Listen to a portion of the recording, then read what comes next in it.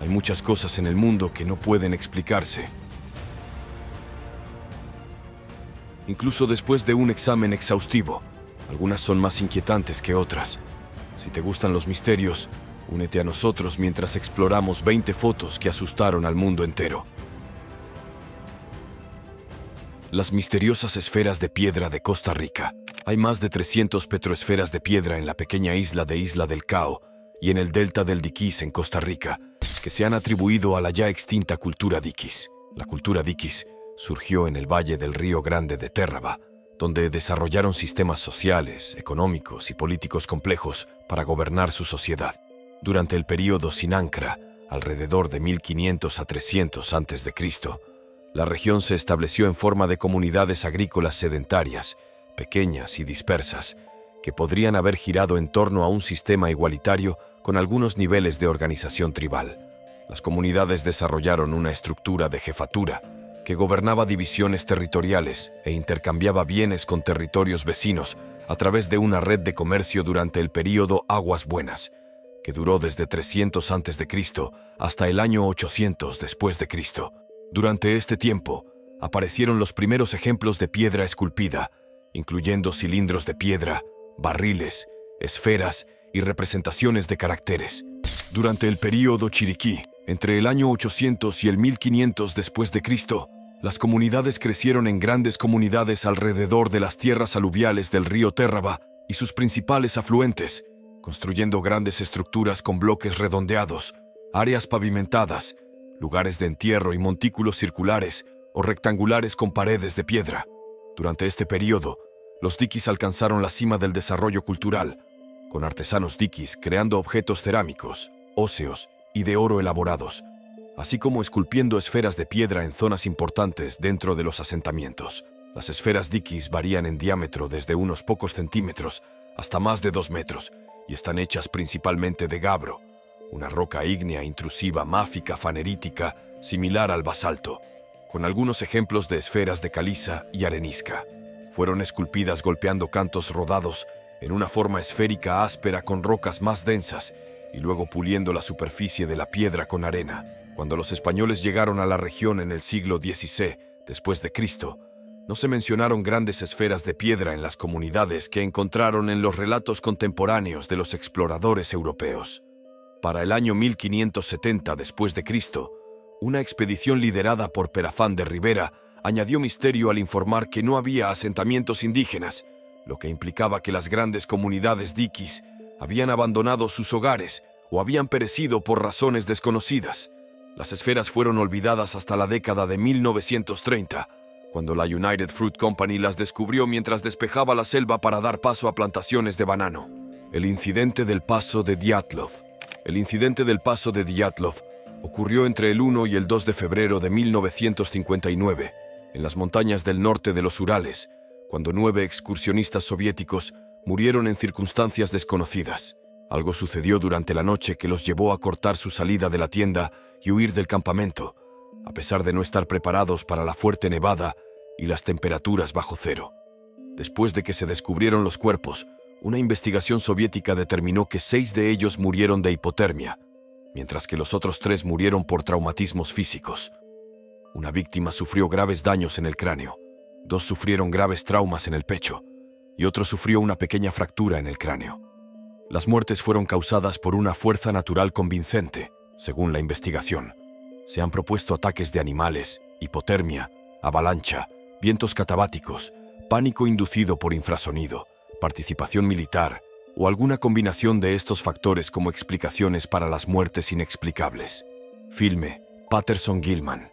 La prueba de afirmaciones paranormales siempre será exigida tanto por los escépticos como por los creyentes. Pero, ¿qué sucede cuando se presenta evidencia extraordinaria y, por lo tanto, controvertida? Tenemos una respuesta a una de las leyendas criptidas más populares y perdurables, la del Bigfoot o Sasquatch de América del Norte. Roger Patterson y Bob Gimlin estaban a unos 10 días de un viaje a caballo cerca de Bluff Creek, al noroeste de Orleans, California, el 20 de octubre de 1967.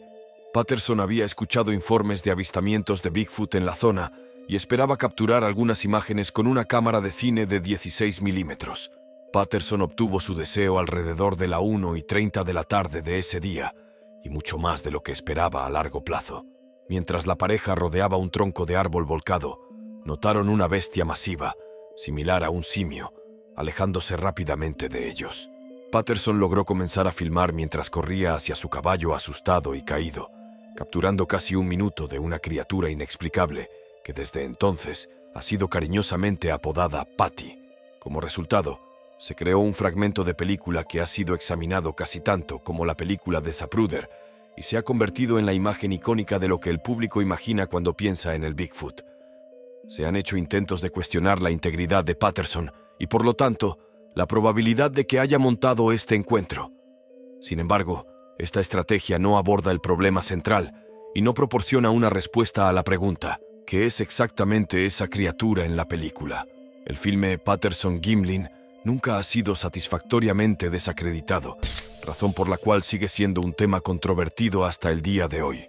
Solo hay dos conclusiones lógicas que se pueden extraer del filme. Es uno de los mayores engaños de todos los tiempos, o realmente capturó a un Bigfoot. Las figurillas de la cultura Ubaid. Al-Ubaid es el lugar principal donde se descubrieron las inusuales estatuillas de hombres lagarto, aunque también se encontraron figurillas en Ur y Eridú. El sitio de Al-Ubaid consiste en un pequeño montículo de aproximadamente medio kilómetro de diámetro y dos metros sobre el suelo. Figurillas masculinas y femeninas en varias posturas fueron descubiertas por Harry Reginald Hall en 1919. La mayoría de las figurillas parecen llevar cascos y tienen hombreras acolchadas. Otras figurillas fueron descubiertas sosteniendo un bastón o un cetro, posiblemente como símbolo de justicia y autoridad. Cada figurilla tiene una pose única, pero lo más extraño es que algunas figurillas femeninas sostienen bebés que maman leche, con el niño también representado como una criatura parecida a un lagarto. Sea lo que fueran, parecían ser significativas para los antiguos subaidianos. Sabemos que la serpiente fue un símbolo importante utilizado en muchas sociedades para representar a diversos dioses, como el dios sumerio Enki, y que la serpiente fue posteriormente utilizada como símbolo de la hermandad de la serpiente, supuestamente una antigua sociedad secreta. ¿Hay alguna conexión entre el símbolo de la serpiente y las representaciones de lagartos? Por el momento, estas preguntas permanecen sin respuesta. Círculos de hadas. El desierto de Namibia está salpicado de millones de círculos de hadas, lagunas circulares en la pradera con unos pocos metros de diámetro, a unos 100 kilómetros de la costa atlántica. Hay cierto parecido con los círculos de Spinifex australianos, pero ahí es donde terminan las similitudes. Durante décadas los científicos han debatido sobre el origen de los círculos de hadas de Namibia. Algunos investigadores creen que son causados por termitas o que las plantas de alguna manera se indujeron a crecer de esta manera por sí mismas. Un nuevo estudio respalda la teoría de las plantas autoorganizadas, sugiriendo que las propias plantas sedientas pueden ser las culpables. A lo largo de dos años, un equipo internacional de investigadores persiguió la lluvia por el desierto de Namibia, recolectando muestras de humedad del suelo en los círculos de hadas a intervalos regulares después de la lluvia e inspeccionando de cerca las hierbas en busca de daños causados por termitas. Pequeñas hierbas brotaban en el centro de los círculos de hadas inmediatamente después de la lluvia, pero morían 10 días después. Las hierbas dentro de los círculos morían después de 20 días. En cambio, las hierbas alrededor de los bordes de los círculos permanecían verdes y saludables. Crucialmente, los investigadores no encontraron evidencia de que las termitas estuvieran devorando las hierbas mientras morían. Manuscrito Voynich. Durante más de un siglo, el manuscrito Voynich ha eludido la interpretación. Fue escrito en Europa Central en el siglo XV y fue redescubierto en 1912 por un comerciante de libros antiguos. A pesar de un escrutinio intenso, nadie ha logrado descifrar el enigmático script. Cada intento de descifrar el significado de las escrituras incomprensibles y las extrañas ilustraciones del manuscrito Voynich ha fallado. Un investigador afirmó en febrero de 2014 que logró descifrar 10 palabras y 14 caracteres en el texto, incluida la palabra para cilantro. Stephen Bax, profesor de lingüística aplicada en la Universidad de Bedfordshire en Inglaterra, explicó que utilizó el mismo método que los académicos han utilizado previamente para descifrar jeroglíficos egipcios y otros textos, que implica identificar primero nombres propios para cosas como plantas y estrellas. Además de las ilustraciones de plantas, el manuscrito también incluye dibujos de constelaciones como Tauro, que Bax logró descifrar. Bax también descubrió una posible palabra para la flor de Centaurea en el manuscrito de 600 años, pero el manuscrito sigue sin resolverse. Monstruo marino Isla Hook. El monstruo marino de la isla Hook, fotografiado en 1965, es uno de los criptidos marinos más famosos. Es un monstruo marino masivo que parece un renacuajo aterradoramente grande. Fue descubierto en Stonehaven Bay, Isla Hook, Queensland, Australia. Robert Leserrek, quien tuvo un encuentro con el monstruo, dijo que lo vio en diciembre de 1964 con su familia y un marinero. La esposa de Robert notó un objeto extraño en el fondo de la laguna mientras estaba en el bote. Tenía 30 pies de largo y tenía forma de renacuajo. La familia comenzó a tomar fotografías y el primer oficial del SREC finalmente reunió el coraje para saltar al agua con la intención de filmar a la criatura. Inicialmente pensaron que el monstruo de 75 a 80 pies estaba muerto, pero se equivocaron. La serpiente abrió la boca y comenzó a moverse hacia ellos, mientras Leserrek se acercaba y comenzaba a filmar. Regresaron a la seguridad de su bote, aterrorizados. La criatura había huido cuando volvieron al bote. No sorprendentemente, muchos intentaron desacreditar esta teoría, afirmando que estaba photoshopeada o manipulada de alguna manera, a pesar de ser de la década de 1960. Algunos argumentan que la imagen es probablemente solo un ángulo ingenioso sobre un gran banco de peces. Sin embargo, debido a lo rectas que son las líneas en las imágenes, esto es casi imposible. Aquellos que quieren creer, pero encuentran una explicación racional, sospecharon que la criatura era una anguila de pantano masiva. Sin embargo, estas anguilas rara vez crecen más grandes de 150 centímetros. Otros especularon que era una lámina de plástico con forma de monstruo que se había hundido para crear la forma. El exhaustivo y bien investigado artículo de Darren Naish en Scientific American sobre esto concluye que fue sin duda un engaño. Mapa de Piri Reis. Durante años, los académicos han estado fascinados y desconcertados por el mapa de Piri Reis de 1513. Los detalles aparentemente precisos de los continentes recién descubiertos de América del Norte y del Sur, así como las líneas trazadas, dan la impresión de que fue creado por un cartógrafo adelantado a su tiempo. Además, el mapa parece representar la Antártida, que la mayoría de los historiadores coinciden en que no fue descubierta por europeos hasta 1820. Como resultado, el mapa ha inspirado mitos y leyendas. Algunos argumentan que el mapa está muy adelantado a su tiempo. Otros creen que es una prueba de que los extraterrestres lo crearon mientras orbitaban la Tierra. Ha habido teorías sobre un descubrimiento anterior de la Antártida e incluso la existencia de pirámides en el continente congelado. La historia del mapa de Piri Reis combina realidad y fantasía. Es un documento antiguo que ha alimentado misterios modernos. Mientras que los entusiastas paranormales han abrazado el mapa de Piri Reis, algunos académicos lo han descartado como un engaño. Líneas de Nazca. Las líneas de Nazca se extienden desde Siria hasta Arabia Saudita. Son visibles desde el aire, pero no desde el suelo, y son en gran parte desconocidas para el público.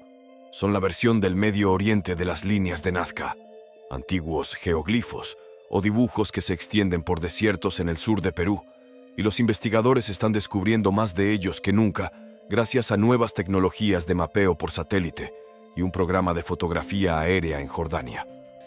Se cuentan por decenas de miles.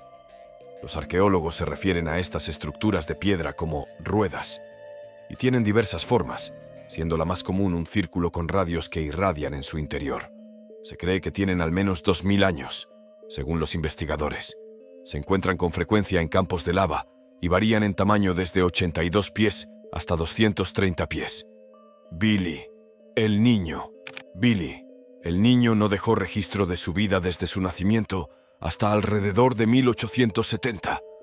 Es recordado como uno de los forajidos más notorios del oeste estadounidense del siglo XIX, pero quizás el aspecto más impactante de la vida de Billy el niño fue lo triste que fue desde su nacimiento en la ciudad de Nueva York hasta quedarse huérfano a una edad temprana y tener la oportunidad de una vida diferente, feliz y exitosa arrebatada. El verdadero Billy el niño no era la figura mítica de la leyenda. No, Billy el niño era un joven que no parecía tener suerte. Cuando se descubrió e identificó la primera fotografía autenticada de Billy el niño, no sorprendió que se vendiera por 2.3 millones de dólares en la feria y subasta anual del viejo oeste en Denver, Colorado, en junio de 2011. La fotografía fue autenticada por Cajuns, una empresa americana con sede en San Francisco, que identificó a Billy el niño, así como a varios miembros de los reguladores, así como amigos y familiares. Fue tomada después de una boda en el verano de 1878, justo un mes después de que la pandilla estuviera involucrada en la sangrienta guerra del condado de Lincoln, desastre del Hindenburg. En este video se puede ver el dirigible alemán llamado el Hindenburg, que estalló en llamas al aterrizar en Lakehurst, cerca de Nueva York, el 6 de mayo de 1937. Los expertos concluyeron que una celda de gas con fugas permitió que el hidrógeno del dirigible se mezclara con oxígeno del aire exterior y que una chispa, posiblemente causada por electricidad estática, encendió el gas, causando que el Hindenburg se incendiara. Los caminantes de Fresno. La historia de los caminantes de Fresno comienza con un perro ladrando. En 2007, un residente de Fresno llamado José decidió instalar una cámara en su garaje para ver qué estaba haciendo que sus perros ladraran todas las noches. Para sorpresa de José, sus cámaras no capturaron ningún animal salvaje o intruso, sino más bien algo que parecía desafiar la explicación. El video borroso parecía mostrar un par de pantalones blancos deslizándose por su césped. Perplejo y aterrado, José comenzó a compartir las imágenes con la esperanza de encontrar una explicación. Se lo entregó a Univisión y al investigador paranormal Víctor Camacho, el conductor del programa sobrenatural en español Los Desvelados. Aunque nadie sabía qué se deslizaba por el patio de José, no pasó mucho tiempo antes de que ocurriera otro avistamiento de los caminantes de Fresno. Las cámaras de seguridad en el Parque Nacional Yosemite parecían capturar el mismo fenómeno en 2011, algo que parecía ser pantalones deslizándose por el parque. ¿Qué son exactamente los caminantes de Fresno? Muchas personas tienen teorías sobre este criptido misterioso de California, aunque nadie lo sabe con certeza. Muchos han intentado desacreditar el mito de los caminantes de Fresno, pero ninguno ha tenido éxito. El Nampa, Idaho, 1899. Un grupo de trabajadores buscaba agua cerca de la ciudad de Nampa en el suroeste de Idaho en 1889. Perforaron un pozo hasta alrededor de 295 pies para hacer un pozo, momento en el que su bomba de vapor comenzó a arrojar partículas de arcilla. Entre los proyectiles, los trabajadores descubrieron una pequeña figura de arcilla con forma de mujer delgada. ¿Era esta una figurilla real o simplemente una coincidencia? ¿Quién la hizo y por qué? ¿Es toda la historia falsa, como algunos sospechan? Un detalle notable sobre este descubrimiento es que nada similar se ha encontrado tan profundo en América del Norte. Después de mucha investigación, no hubo duda de que esta muñeca fue creada por humanos. Pero lo que hace que este hallazgo sea tan intrigante es que la figurilla data de cuando se cree que el hombre vivía en esta parte del planeta. Muchas personas creen que esta figurilla es una antigüedad, pero otros dicen que es un juguete similar a lo que jugarían los niños nativos americanos. A lo largo de los años, ha generado un gran debate en el mundo científico, ya que los científicos han intentado aprender todo lo que pueden sobre el origen de esta figurilla y qué es. Sea cual sea su opinión, la muñeca de Nampa es un descubrimiento único en Idaho que tiene a muchos arqueólogos y otros expertos científicos rascándose la cabeza. El Códice Gigas. El manuscrito medieval más grande del mundo se cree que fue creado por un solo monje en Bohemia. Sin embargo, lo extraordinario no es el tamaño de las 620 páginas de tres pies, sino el diablo que alberga en su interior. El Códice Gigas fue escrito en el siglo XIII y originalmente se guardaba en la abadía benedictina de Podlasice. El manuscrito incluye no solo el Antiguo y Nuevo Testamento, sino también una variedad de literatura menor que trata temas de gran utilidad en ese momento, como el exorcismo, la gramática, un calendario y obras medicinales, por nombrar algunos. La especulación, lógica y de otra índole, abunda en cuanto a cómo la característica más impía podría haber encontrado su camino en este documento más sagrado, pero las respuestas siguen siendo esquivas. El manuscrito fue robado del castillo del Sacro Imperio Romano por el ejército sueco durante la Guerra de los 30 años y llevado a Estocolmo a fines del siglo XVI. El hombre de cuero. un tipo excéntrico pasó décadas deambulando por el área entre los ríos Connecticut y Hudson en el siglo 1800. Su identidad es desconocida. Los estudiantes en Branford, Connecticut, tenían un recreo inesperado casi todos los meses durante el año escolar a fines del siglo 1800. Salían de las aulas, se paraban afuera y lo buscaban, según las indicaciones de su maestro. Aparecía como un reloj, un hombre vestido completamente de cuero, una gruesa chaqueta de cuero sobre pantalones y camisa de cuero, botas y una gorra de cuero, un morral y una gorra hechos de cuero. Nadie sabía de dónde venía. Nadie sabía qué quería en última instancia. Tampoco hablaba. Para la mayoría simplemente gruñía o hablaba algunas frases en francés antes de seguir su camino. Su expedición era una caminata de 365 millas en sentido horario por Connecticut y partes de Nueva York, un viaje que podía hacer en unos 35 días y repetía en un ciclo aparentemente infinito. Los ciudadanos de los pueblos por los que caminaba, al igual que los alumnos, quedaban cautivados por el intrigante visitante, y como se negaba a revelar su identidad, tuvieron que darle uno, el viejo del cuero. El meteorito de Tunguska. El 30 de junio de 1908, un asteroide entró en la atmósfera de la Tierra y explotó sobre Siberia. Los lugareños en la escasamente poblada área dijeron que vieron una bola de fuego y escucharon una gran explosión. Afortunadamente, se espera que un evento de tipo Tunguska ocurra solo una vez cada siglo en promedio. El asesino del zodiaco. El asesino del zodiaco es el alias de un asesino en serie no identificado que aterrorizó el norte de California a fines de la década de 1960. El caso se ha descrito como el caso de asesinato no resuelto más famoso de Estados Unidos. Se convirtió en parte de la cultura popular, inspirando a muchos detectives aficionados a intentar resolverlo.